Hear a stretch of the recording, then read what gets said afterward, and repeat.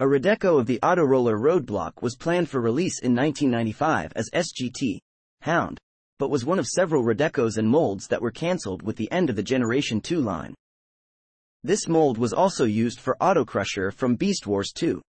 Proceed on your way to oblivion. This item has been cancelled, with no current plans for release.